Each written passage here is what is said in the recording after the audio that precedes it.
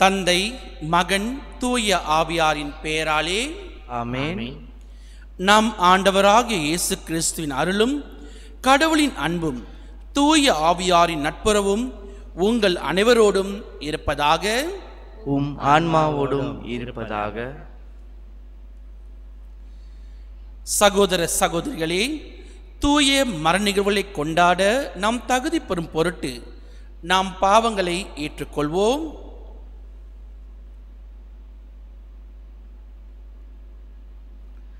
எல்லாம் வல்ல இறைவனிடமும் சகோதர சகோதரிகளே உங்களிடமும் நான் பாவி என ஏற்றுக்கொள்கின்றேன். ஏனெனில் என் சிந்தனையாலும் சொல்லாலும் செயலாலும் கடமையில் தவறியதாலும் பாவங்கள் பல செய்தேன்.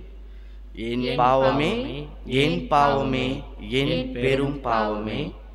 ஆகையால் எப்போதும் கன்னியான புனித மரியாவியும் வான தூதர் புனிதர் அனைவரையும் சகோதர சகோதரிகளே உங்களையும் நம் இறைவனாகிய ஆண்டவரிடம் எனக்காக வேண்டிக் கொள்ள மன்றாடுகின்றேன்.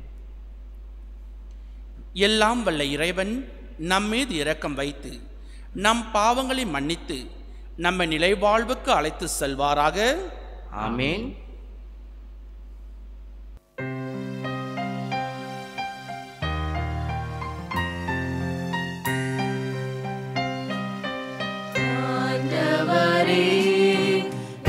இரக்கமாயிரும்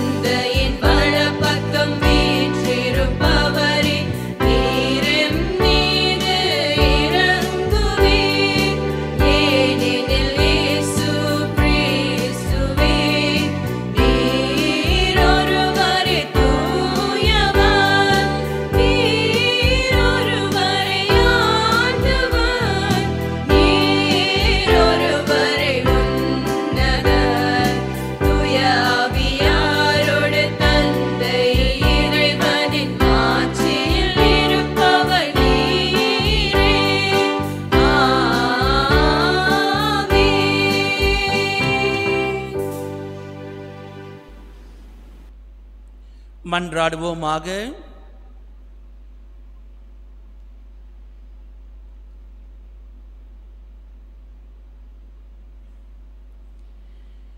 என்றும் உள்ள எல்லாம் வல்ல இறைவா எங்களில் நம்பிக்கை எதிர்நோக்கு அன்பு ஆகியன வளர செய்தலும் அதனால் நீர் கட்டளையிடுவதை நாங்கள் அன்பு செய்யவும் நீர் வாக்களிப்பதை நாங்கள் பெற்றுக்கொள்ளவும் தகுதி பெறுவோமாக. உம்மோடு தூய ஆவியாரின் ஒன்றிப்பில் இறைவனாய் என்றென்று வாழ்ந்து ஆட்சி செய்யும் எங்கள் ஆண்டவரும் உம் திருமகனுமாகிய இயேசு கிறிஸ்து வழியாக உம்மை மன்றாடுகின்றோம். ஆமேன்.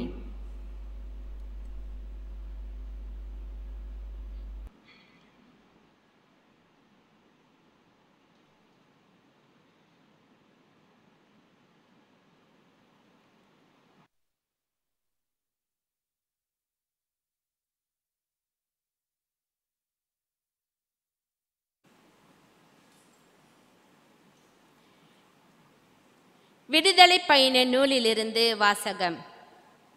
ஆண்டவர் கூறியது அந்நியனுக்கு நீ தொல்லை கொடுக்காதே அவனை கொடுமைப்படுத்தாதே.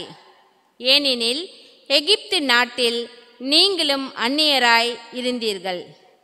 விதவை அனாதை யாருக்கும் நீ தீங்கிழைக்காதே. நீ அவர்களுக்கு கடுமையாக தீங்கிழைத்து அவர்கள் என்னை நோக்கி அழுது முறையிட்டால் நான் அவர்கள் அழுகுரலுக்கு செவிசாய்ப்பேன் மேலும் என் சினம் பற்றி எரியும். நான் உங்களை என் வாளுக்கு இரையாக்குவேன். இதனால் உங்கள் மனைவியர் விதவைகள் ஆவர் உங்கள் பிள்ளைகள் தந்தையற்றோர் ஆவர். உங்களோடு இருக்கும் என் மக்களில் ஏழை ஒருவருக்கு நீ பணம் கடன் கொடுப்பாயானால் நீ அவர் மேல் ஈட்டிக்காரன் ஆகாதே. அவரிடம் வட்டி வாங்காதே. பிறருடைய மேலாடியை அடகாக நீ வாங்கினால் கதிரவன் மறையும் முன் அதை அவரிடம் திரும்பி கொடுத்துவிடு. ஏனெனில் அது ஒன்றே அவருக்கு போர்வை. உடலை மூடும் அவரது மேலாடையும் அதுவே. வேறு எதில்தான் அவர் படுத்துறங்குவார். அவர் என்னை நோக்கி அழுது முறையிட்டால் நான் செவி சாய்ப்பேன். ஏனெனில் நான் இரக்கமுடையவர். ஆண்டவரின் அருள்வாக்கு. இறைவனுக்கு நன்றி.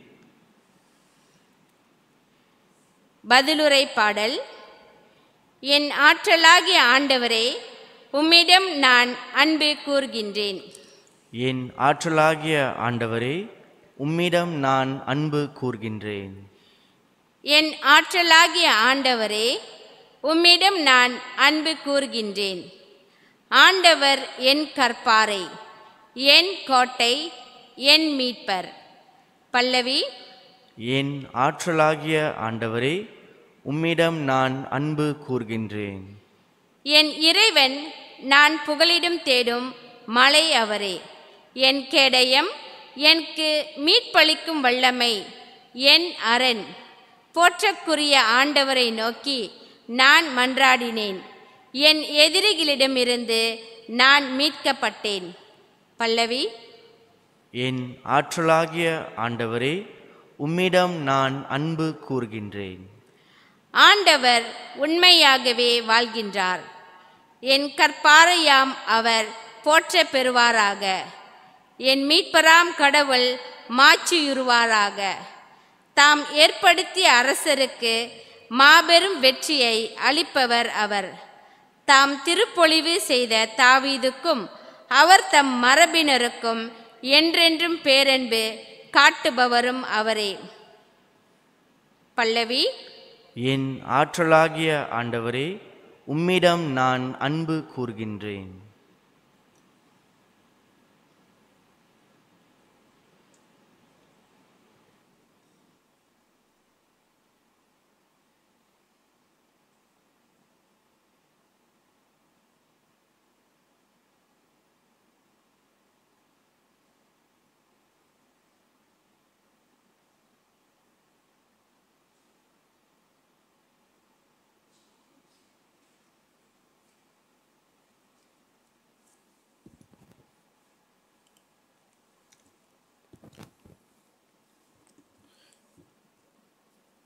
திருத்தூதர் பவுல் தெசலோனியருக்கு எழுதிய முதல் திருமுகத்திலிருந்து வாசகம்.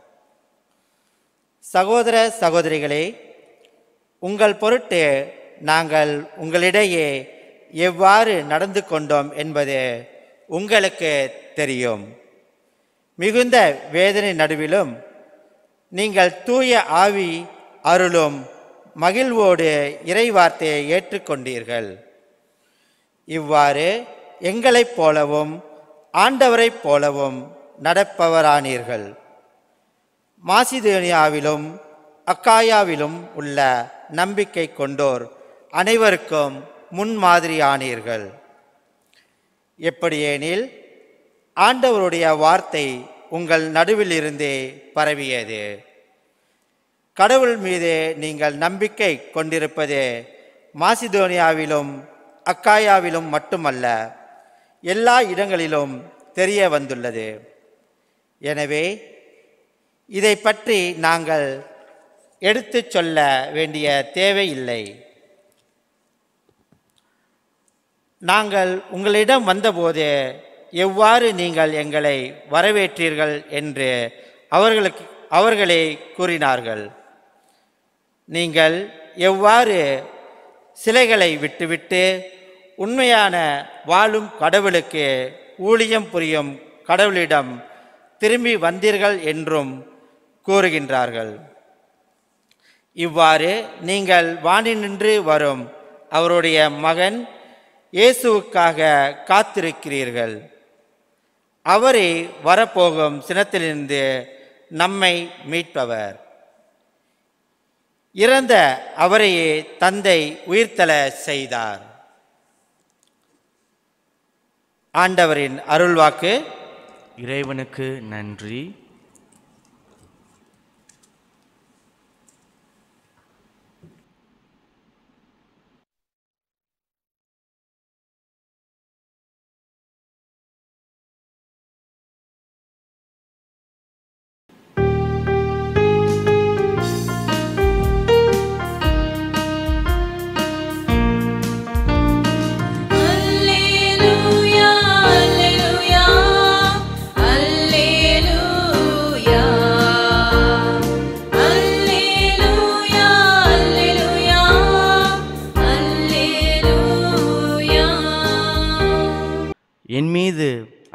கொண்டுள்ளவர். நான் சொல்வதை கடைப்பிடிப்பார். என் தந்தையும் அவர் மீது அன்பு கொள்வார். நாங்கள் அவரிடம் வந்து அவருடன் குடிக்கொள்வோம் என்கிறார் ஆண்டவர்.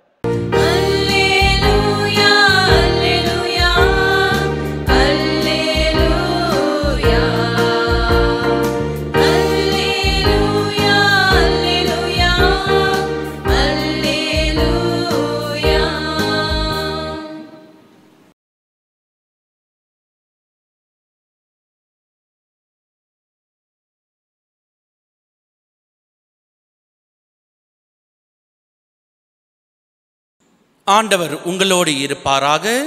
உம் ஆன்மாவோடும் இருப்பாராக. மத்தேயு எழுதிய தூய நற்செய்தியிலிருந்து வாசகம். ஆண்டவரே மாட்சி உமக்கே.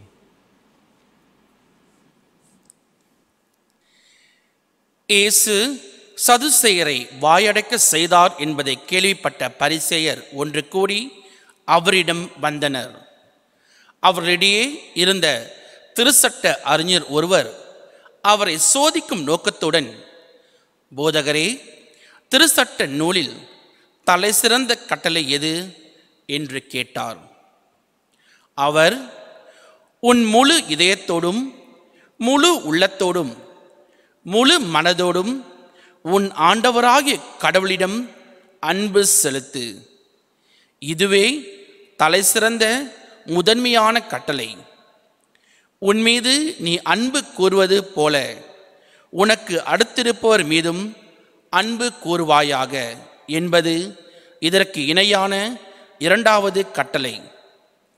திருச்சட்ட நூல் முழுமைக்கும் இறைவாக்கு நூல்களுக்கும் இவ்விரு கட்டளைகளே அடிப்படையாக அமைகின்றன என்று பதிலளித்தார். ஆண்டவரின் அருள்வாக்கு கிறிஸ்துவே உமக்கு புகழ்.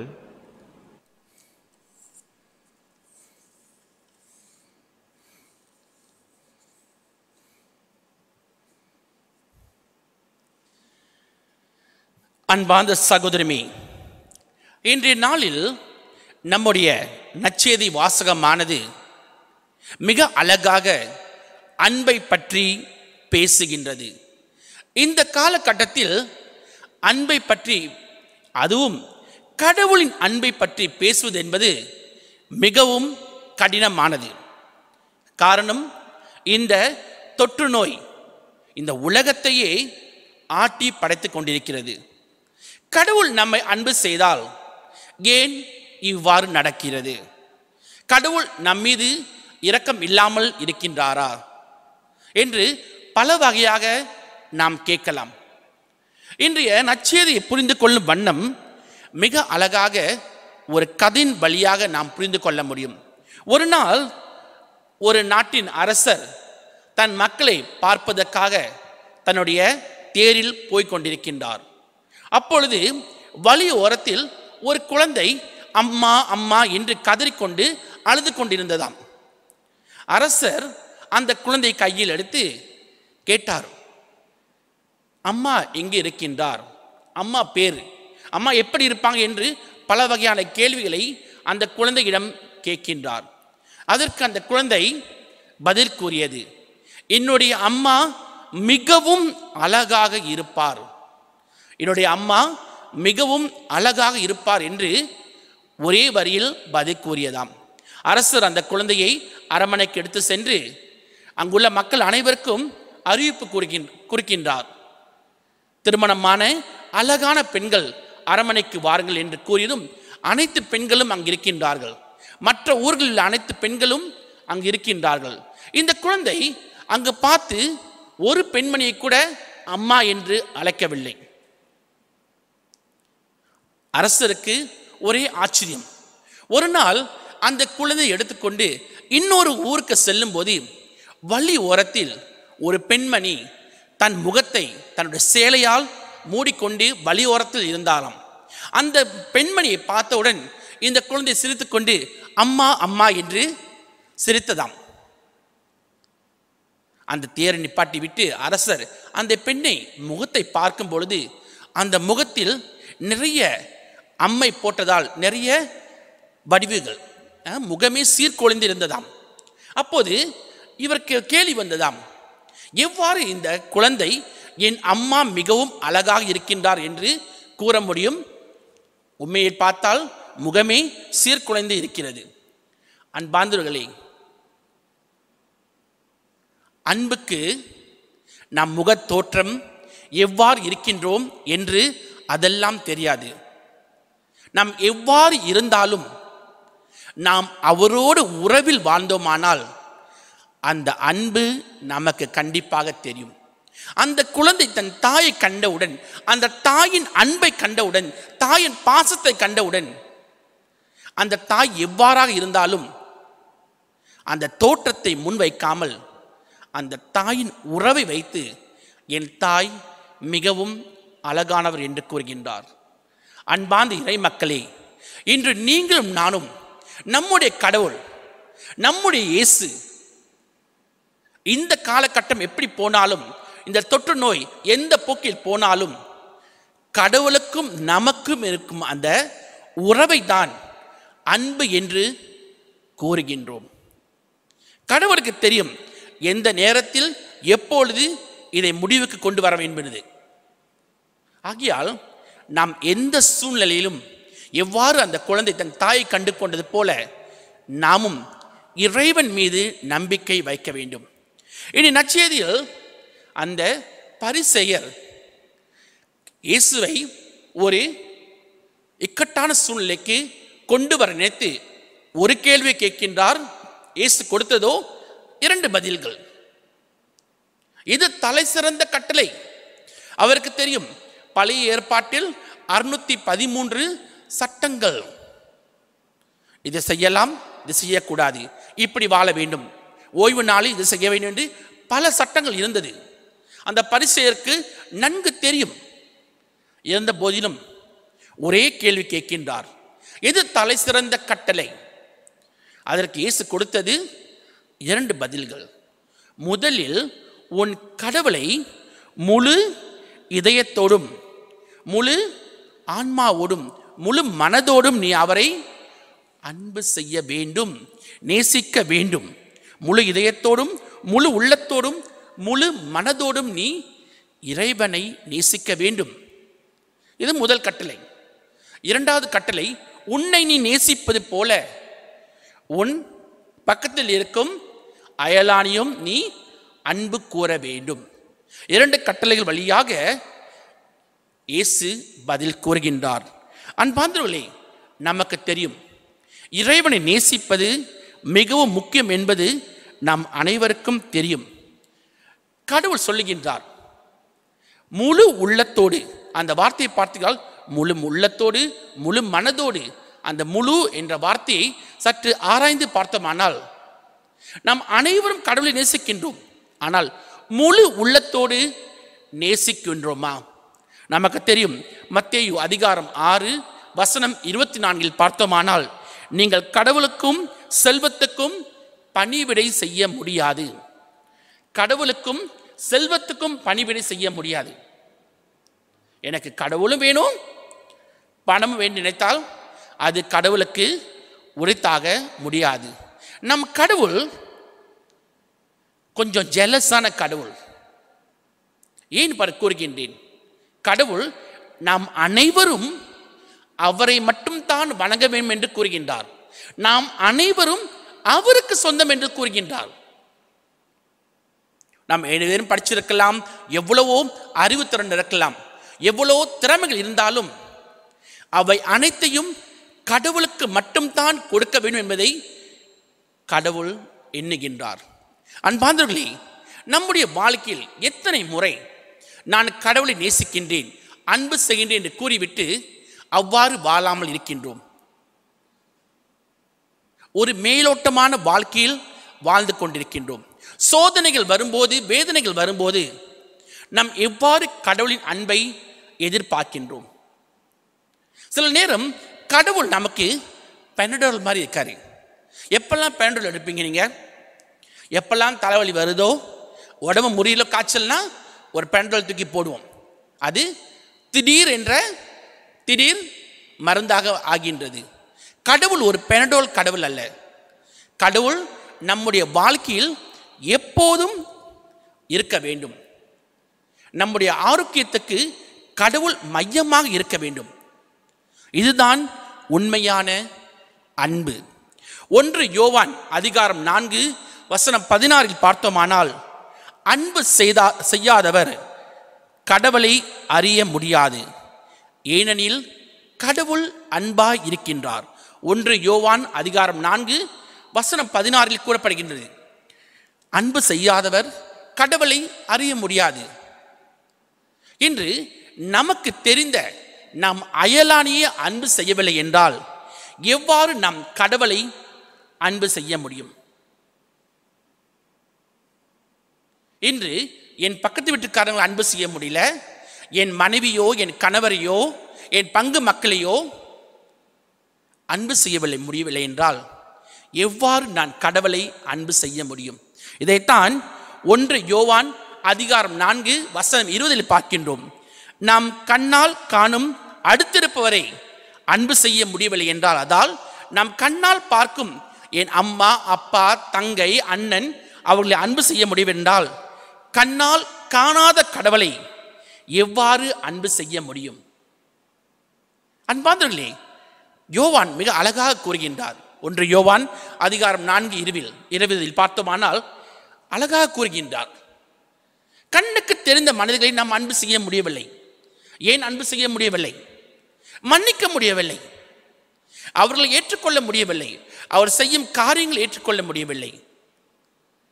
அவ்வாறு இருக்கும் பொழுது நாம் எவ்வாறு கடவுளை அன்பு செய்ய முடியும்? வாரந்தோறும் கோயிலுக்கு வந்து தேவாலயத்தில் வந்து திருப்பலையில் கலந்து கொண்டு நற்கரணை எடுத்துக்கொண்டு வீட்டுக்கு போயான பக்கத்து நேபரை பார்த்து சிரிச்சு நல்லா இருக்கீங்களா? காலை வணக்கம் சாப்பிட்டீங்களா? உடம்பு நல்லா இருக்கான்னு கேட்காட்டினா என்ன பயன்? சொல்லுங்கள். நாம் அன்பை நமக்குள் வைத்துக்கொள்ளவே முடியாது. அன்பைக்கு ஒரு ஃபேன்ஸ் போட்டு அன்பை நமக்குள் வைத்துக்கொள்ள முடியாது. ஒரு முறை ஒரு கிராமத்தில் ஒரு மாமரம் இருந்ததாம் மாங்காய் மரம். அது எந்த நேரத்திலும் காய் காய்த்து கொண்டே இருந்ததாம். அந்த வருஷம் முழுதும் அந்த மரத்தில் மாம்பழம் இருந்ததாம். அனைவரும் வந்து அந்த பழத்தை பறித்து சாப்பிடுவார்கள் மிகவும் சுவையாக இருந்ததாம். அதை கண்ட அந்த அரசர் அவரும் அந்த மாம்பழத்தை சுவைத்து பார்த்தாராம். மிகவும் சுவையாக இருந்தோன்னே என்ன செஞ்சாராம்? ரெண்டு காவலாளிகளை போட்டு சோல்ஜர்ஸை போட்டு இந்த மரத்தை பாதுகா பாதுகாத்து கொள்ளுங்கள். யாரும் இங்கு வரக்கூடாது. இந்த மரம் எனக்கு மட்டும் சொந்தம் நானும் அரசியும் மட்டும்தான் இந்த பழங்களை உண்ண வேண்டும் என்று கூறினாராம். காலப்போக்கில் அந்த மரத்தில் உள்ள கனிகள் எல்லாம் குறை குறைந்து பழங்கள் எப்போதுமே இல்லையா? குறைஞ்சிருச்சு குறைஞ்சிருச்சா? மரம் செழிப்பு இல்லாமல் இருந்ததாம். அப்போது அரசருக்கு ஒரு அதிர்ச்சி. மின்போட இப்போது இந்த மரத்துக்கு நிறைய உரங்கள் போடுகின்றோம் நிறைய தண்ணி கொடுக்கின்றோம். இருப்பினும் ஏன் பழங்களை கொடுக்க மாட்டுது? அப்போது அரசருக்கு ஒருத்தர் அறிவுரை கூறினாராம். முன்பெல்லாம் இந்த மரத்தை பார்ப்பதற்கு நிறைய பேர் வந்தார்கள். இந்த மரத்தில் கனிகளை உண்டு அதை சுவையை சுவைத்து அதை பற்றி மற்றவர்களுக்கு பேசினார்கள். இப்போது அதற்கு வாய்ப்பில்லாமல் போய்விட்டது. அந்த சுவை நீங்கள் மட்டும் சுவைக்கின்றீர்கள். அந்த பழத்தை நீங்கள் மட்டும் உண்ணுகின்றீர்கள். அதனால் அந்த மரத்துக்கு பயன் இல்லாமல் போனதாக கருதப்படுகின்றது. அன்பார்ந்தவர்களே சில நேரங்களில் அன்பை நமக்குள் மட்டும் வைத்துக்கொண்டால் அது வெளிப்பாடாக இருக்காது. நான் உன்னை அன்பு செய்கின்றேன் உன்னை நேசிக்கின்றேன் நீ எனக்கு முக்கியம் என்று கூறிக்கொண்டிருந்தால் அதுக்கு எந்த ஒரு பயனும் இல்லை. சில பேர் நம் அன்பை இல்லாத போதுதான் காட்டுவோம். இருக்கும் போதெல்லாம் காட்ட மாட்டோம். ஒரு நம்ம முன்னுக்கு இருப்பாங்க வந்துட்டு நான் உங்களை அன்பு செய்கின்றேன் என்று சொல்ல மாட்டோம். ஆனால் பின்னால் பற்றி பேசுவோம் வந்துட்டு நல்லவங்க தான். என் நிறைய உதவி செஞ்சுருக்காங்கன்னு சொல்லுவோம் வந்துட்டு. ஒரு முறை பன்றிக்கும் ஒரு பசுக்கும் ஒரு கான்வர்சேஷன் ஒரு உரையாடல். அப்போ அந்த பன்றி கேட்டுதான். அந்த பசுவை பார்த்து உன்னை எல்லாம் புகழ்ந்து பேசுகிறாங்க என்னை பற்றி யாரும் ஒன்றுமே சொல்ல மாட்டுறாங்க பசுவை பார்த்தா நிறையா விஷயங்கள் பேசுகிறாங்க வந்துட்டு. அப்போ அந்த பசு சொன்னதாம் நான் உயிரோடு இருக்கும் காலத்தில் மற்றவர்களுக்கு உதவி செய்கின்றேன். என் பால் வழியாக அவர்களுக்கு பசியை தீர்க்கின்றேன். ஆனால் நீ இறந்த பிறகுதான் மற்றவர்களுக்கு உணவாக போகின்றாய் என்று கூறியதாம். அன்பார்ந்தர்களே வாழும் காலத்தில் நாம் அவருடைய அன்பு செய்யாமல் இருந்து இறந்த பிறகு அவர்கள் கல்லறைகளுக்கு பூக்கள் வைத்து மெழுகுவத்தை கொளுத்தி எதை சாதிக்கப் போகின்றோம்? வாழும் காலத்தில் நான் உன்னை அன்பு செய்கின்றேன் உன்னை நேசிக்கின்றேன் என்று சொல்லாமல் இறந்த பிறகு அவர்களுக்கு பெரிய பூமாலை வைத்து எதை சாதிக்கப் போகின்றோம்? இன்னும் இந்த காலகட்டத்தில் இறந்த பிறகுதான் அவர்களை பற்றி அதிகமாக சோஷியல் மீடியாவில் போகிறோம் என் அப்பா இறந்துட்டார் எங்கள் அம்மா இறந்துட்டாங்க எனக்கு இவ்வளோ செஞ்சுட்டாங்க அவ்வளோ செஞ்சுட்டாங்க என்று சொல்கின்றோம். ஆனால் வாழும் காலத்தில் அவர்களை பற்றி ஒரு முறையாவது நான் நன்றாக பேசியிருக்கின்றேனா அன்பானங்களே அன்பை பற்றி பேசும் பொழுது பல வகையில் பேசுகின்றோம். அன்பை பற்றி பல பாடல்கள் இருக்கிறது. கணவன் மனைவி அன்பு பெற்றோர்கள் அன்பு பெற்றோர்கள் பிள்ளைகள் அன்பு சகோதரர்கள் அன்பு. நிறைய பாடல் இருக்கின்றது. காரணம் ஒவ்வொருவரும் அன்பை தேடிக்கொண்டிருக்கின்றோம். ஒரு குழந்தை முதல் ஒரு பெரியவர் வரை அனைவரும் அன்புக்கு நாம் அடிமைகளாக இருக்கின்றோம். இதுதான் உண்மை. ஆகியால் முதலில் நாம் பிறர் அன்பை உணர வேண்டும். ஒருவர் அன்பு செய்ய வேண்டும். அவ்வாறு செய்தோமானால் கண்டிப்பாக இறைவனை நாம் முழு உள்ளத்தோடும் முழு இதயத்தோடும் முழு மனதோடும் அன்பு செய்வோம். இல்லையென்றால் அந்த அன்பு அர்த்தம் இல்லாமல் போகிவிடும். ஆகையால் அன்பாதவர்களே இறைவன் நமக்கு வாய்ப்பு கொடுக்கின்றார். வாழும் இந்த காலத்தில் அன்பு செய்வோம். அதன் வழியாக ஒருவரை நேசிப்போம். இதன் வழியாக இறைவனின் அன்பில் நாம் மலர்வோம்.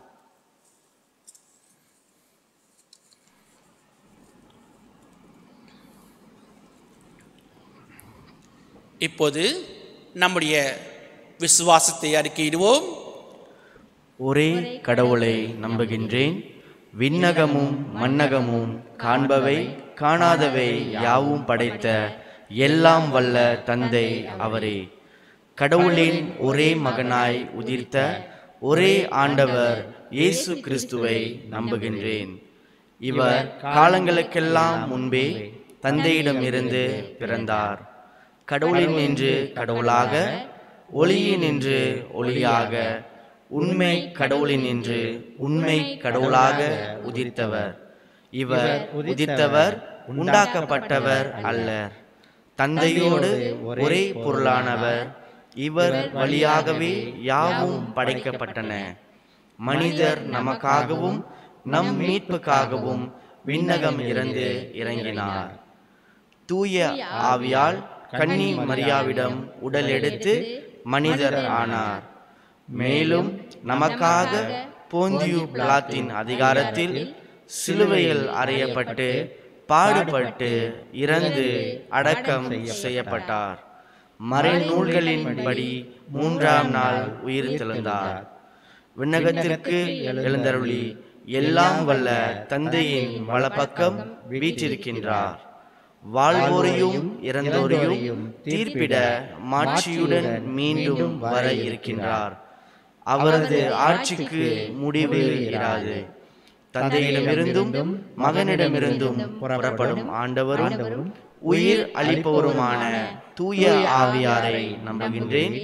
இவர் தந்தையோடும் மகனோடும் ஒன்றாக ஆராதனையும் மாட்சியும் பெறுகின்றார்.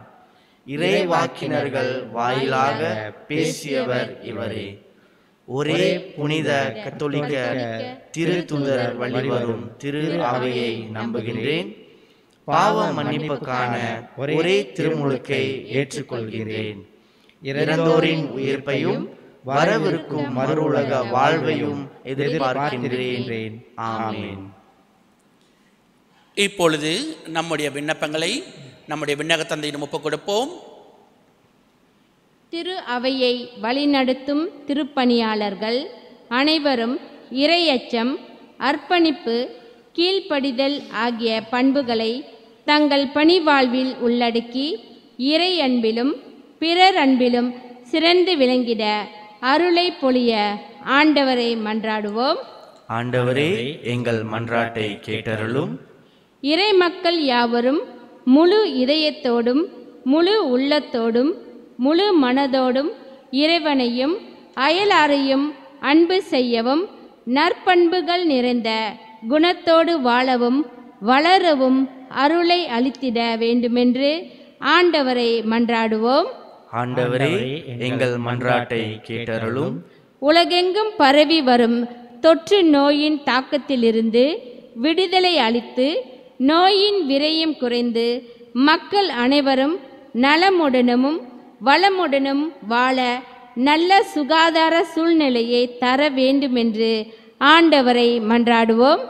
ஆண்டவரே எங்கள் மன்றாட்டை கேட்டருளும். கால சூழ்நிலையினால் தற்காலிகமாக தேவாலயங்களில் நிறுத்த பெற்றுள்ள திருப்பலிகள் மீண்டும் நடைபெறவும் இறைமக்கள் அனைவரும் திருப்பலியில் பங்கு கொண்டு தங்கள் ஆன்ம தாக்கத்தை தீர்க்க அருள் புரிய ஆண்டவரை மன்றாடுவோம். ஆண்டவரே எங்கள் மன்றாட்டை கேட்டருளும். தனிப்பட்ட கருத்துக்காக மன்றாடுவோம்.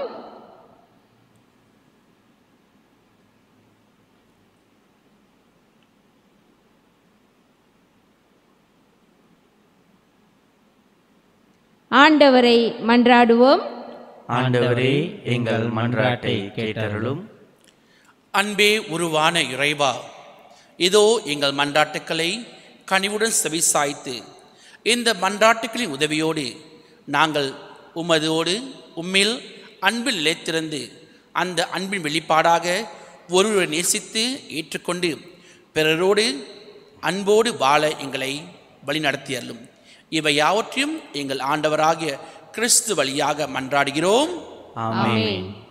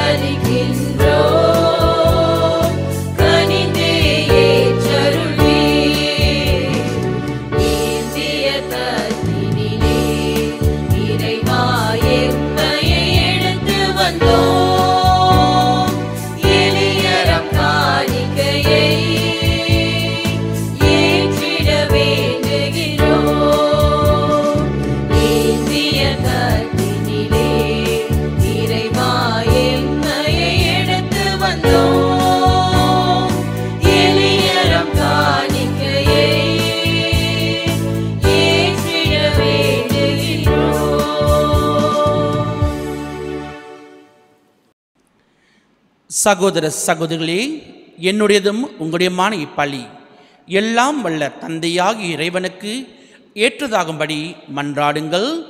ஆண்டவர் தமது பெயரின் மகிழ்ச்சிக்காகவும் மாட்சிக்காகவும் நமது நன்மைக்காகவும் புனித திரு அவை அனைத்தின் நலனுக்காகவும் உமது கையிலிருந்து பலியை ஏற்றுக்கொள்வாராக. ஆண்டவரே மாட்சிக்கு உரிய உமக்கு நாங்கள் அளிக்கும் காணிக்கையை கண்ணோக்கி அருள உம்மை வேண்டுகின்றோம். இவ்வாறு நாங்கள் நிறைவேற்றும் இத்திருப்பணி எங்களை உமது மாட்சிக்கு ஈட்டு செல்வதாக. எங்கள் ஆண்டவர் கிறிஸ்து வழியாக உம்மை மன்றாடுகின்றோம். ஆமென்.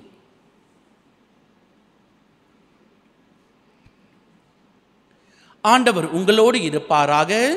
உம் ஆன்மாவோடும் இருப்பாராக.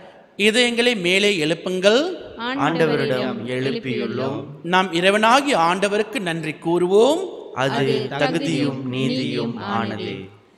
ஆண்டவரே தூயவரான தந்தையே என்றும் உள்ள எல்லாம் வல்ல இறைவா எங்கள் ஆண்டவராக கிறிஸ்து வழியாக எந்நாளும் விடத்திலும் நாங்கள் உமக்கு நன்றி செலுத்துவது மெய்யாகவே தகுதியும் நீதியுமாகும் எங்கள் கடமையும் மீட்புக்குரிய செயலும் ஆகும். தவறிழைத்த எங்கள் மீது கிறிஸ்து இரக்கம் கொண்டு கன்னி மரியாவிடமிருந்து பிறக்க திருவுள்ளமானார். சிலுவையில் பாடுபட்டு முடிவில்லா சாவிலிருந்து எங்களை விடுவித்தார். இறந்தோரும் இருந்து உயிர்த்தெழுந்து நிலை வாழ்வை எங்களுக்கு அருளினார். ஆகவே வானத்தூதர் முதன்மை வானத்தூதரோடும் அரியணையில் அமருவோர் தலைமை தாங்குவோரோடும் வான் படைகளின் அணிகள் அனைத்தோடும் சேர்ந்து நாங்கள் உமது மாட்சியை புகழ்ந்து பாடி முடிவின்றி சொல்வதாவது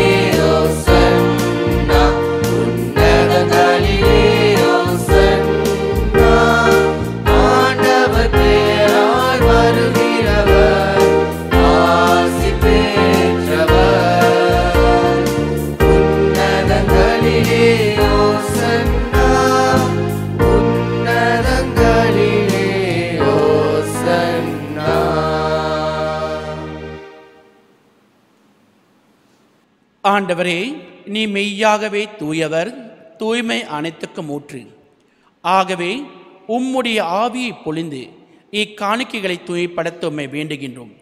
இவ்வாறு எங்கள் ஆண்டவர் இயேசு கிறிஸ்தின் உடலும் இரத்தவுமாக எங்களுக்கு இவை மார்பனவாகும் அவர் பாடுபட உளம் கணிந்து தம்மை கையளித்த போது அப்பத்தை எடுத்து நன்றி செலுத்தி அதை பிட்டு தம் சீழ் கழித்து கூறியதாவது.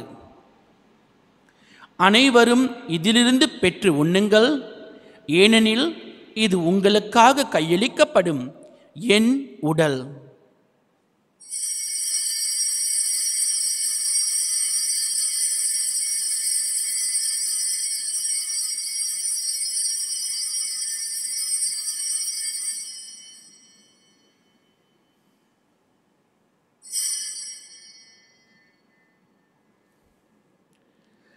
அவ்வண்ணமே இரவு விருந்தை அருந்திய பின் கிண்ணத்தையும் எடுத்து மீண்டும் உமக்கு நன்றி கூறி தாம் சிறு கழித்து அவர் கூறியதாவது அனைவரும் இதிலிருந்து பெற்று பருகுங்கள் ஏன் இது புதிய நிலையான உடன்படிக்கை கூறி இரத்தத்தின் கிண்ணம் இது பாவ மன்னிப்புக்கென்று உங்களுக்காகவும் பலருக்காகவும் சிந்தப்படும் இதை என் நினைவாக செய்யுங்கள்.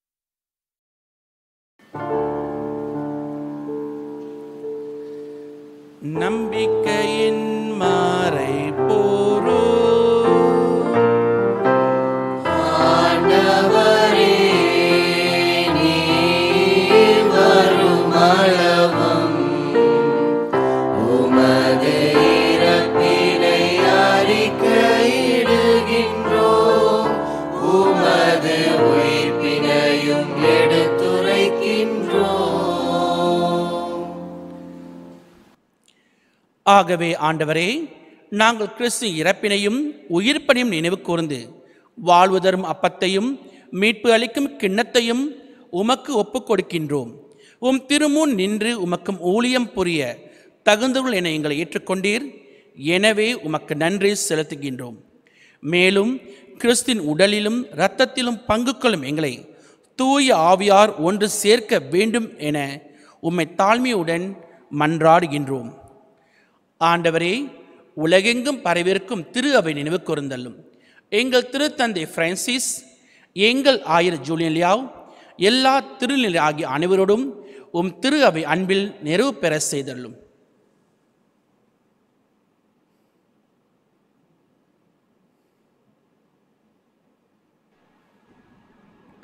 மேலும் உயிர்த்தெழும் எதிர்நோக்குடன் துயில் கொள்ளும் எங்கள் சகோதர சகோதரிகளையும் இறந்தோர் அனைவரையும் இரக்கத்துடன் நினைவு கூர்ந்து உம் திருமுக ஒளியினுள் ஏற்றருளும். எங்கள் அனைவர் மீதும் இரக்கமாயிரும். கடவுளின் கண்ணைத்தாயான புனித மரியா அவருடைய கணவரான புனித யோசேப்பு புனித திருத்தூதர்கள் இவ்வுலகில் உமக்கு உகந்தவராய் இருந்தோர்.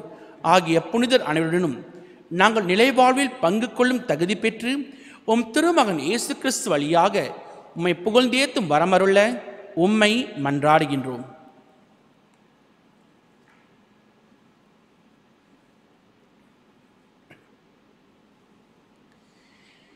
இவர் வழியாக இவரோடு இவரில் எல்லாம் வல்ல இறைவனாகிய தந்தையே.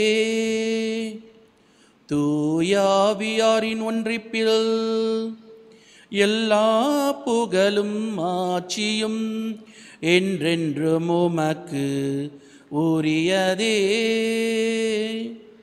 ஆ.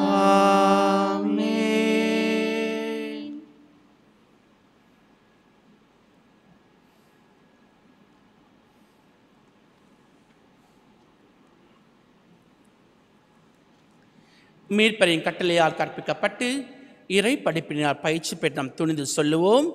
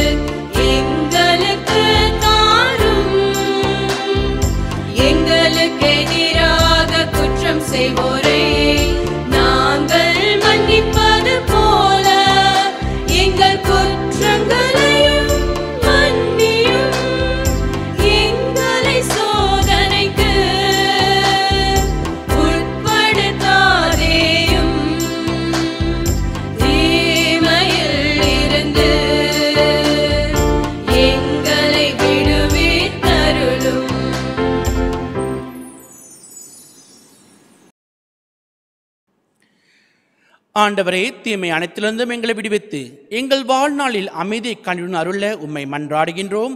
உமது இரக்கத்தின் உதவியால் நாங்கள் பாவத்திலிருந்து எப்போதும் விடுதலை பெற்று யாதொரு கலக்கமின்றி நலமாய் இருப்போமாக.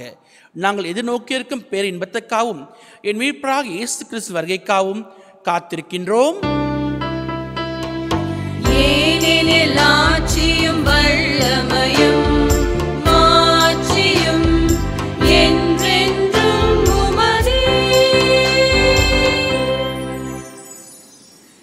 ஆண்டவர் இயேசு கிறிஸ்துவே அமைதியை உங்களுக்கு விட்டுச் செல்கின்றேன். என் அமைதியை உங்களுக்கு அளிக்கின்றேன் என்றும் திருத்தூதருக்கு மொழிந்தீரே. எங்கள் பாவங்களை பாராமல் உம் திரு அவை நம்பிக்கையை கண்ணோக்கி உம் திரு உள்ளத்துக்கேற்ப அதற்கு அமைதியும் ஒற்றுமையும் அளித்தருள்வீராக. என்றென்று வாழ்ந்து ஆட்சி செய்கின்றவர் நீரே. ஆமென்.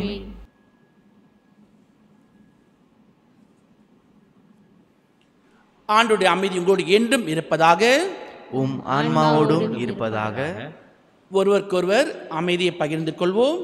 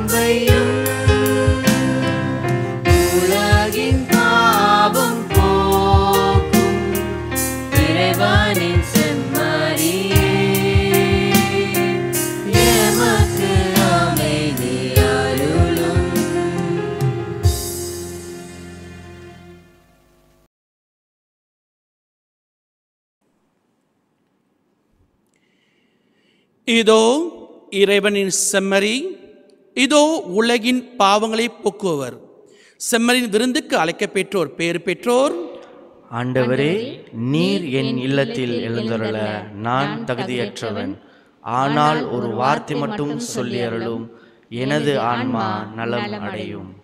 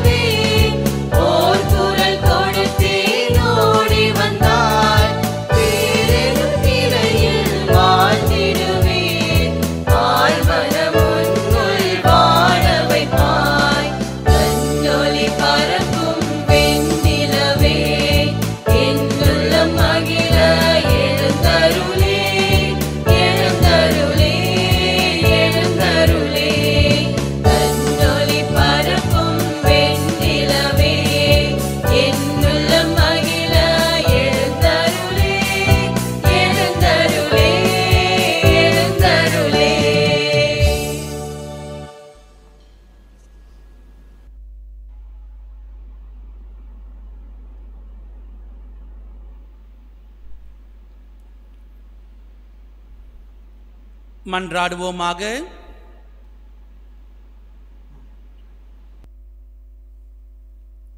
ஆண்டவரே உம் அரு அடையாளங்கள் தம்முள் கொண்டிருக்கும் அருள் எங்களில் நிறைவு பெற செய்தருள உம்மை வேண்டுகின்றோம்.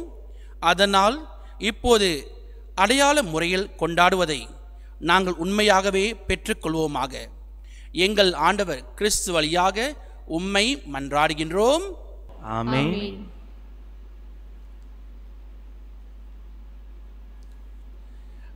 அன்பார்ந்த சகோதரமே ஒரு அறிவிப்பு. கடந்த வாரம் நமக்கு தெரியும் அன்னை மரியால் ஒரு புதிய ஏவாள் என்ற தலைப்பில் நமக்கு சொற்பொழிவு வழங்கப்பட்டது. அதேபோல் இன்றைய நாளில் மாலை ஏழரை மணிக்கு அன்னை மரியாளும் கோட்பாடுகளும் என்ற தலைப்பில் இன்னொரு சொற்பொழிவு உங்களுக்கு வழங்கப்படும். ஸோ அன்னை மரியாளுக்கு நான்கு கோட்பாடுகள் உள்ளன. முதலில் அன்னை மரியாள் கடவுளின் தாய். இரண்டாவது அன்னை மரியாள் அமல் அன்னை மரியாளின் அமல உற்பவம். ஜென்ம பாவமின்றி அன்னை மரியாள் பிறந்தார் என்பதை திரு அவை நம்புகின்றது. மூன்றாவது அன்னை மரியாள் என்றென்றும் கன்னியாக இருக்கின்றார். இறுதியாக அன்னை மரியாளின் விண்ணேற்பம். அதாவது அன்னை மரியாளுக்கு நான்கு கோட்பாடுகள் உள்ளன. ஆகையால் இதை பற்றி இன்னும் ஆழமாக சிந்திக்க தெரிந்து கொள்ள இன்று மாலை ஏழரை மணிக்கு நம்முடைய பங்கு திருக்குடும்ப ஆலய யூடியூப்பில் போனால் நீங்கள் பார்க்கலாம். அன்போட லிங்க் வந்துட்டு அங்கே இருக்க வந்துட்டு அனைவரும் பார்த்து உங்கள் மற்ற ஃப்ரெண்ட்ஸ்க்கும் வந்துட்டு இதை நீங்கள் ஷேர் பண்ணுங்கள் வந்துட்டு இதன் வழியாக நம்முடைய விசுவாசம் வளர்றதுக்கு உதவியாக இருக்கும். ஆண்டவர் உங்களோடு இருப்பாராக? உம் ஆன்மாவோடும் இருப்பாராக. எல்லாம் வல்ல இறைவன் தந்தை மகன் தூய ஆவியார் உங்களுக்கு ஆசி வழங்குவாராக?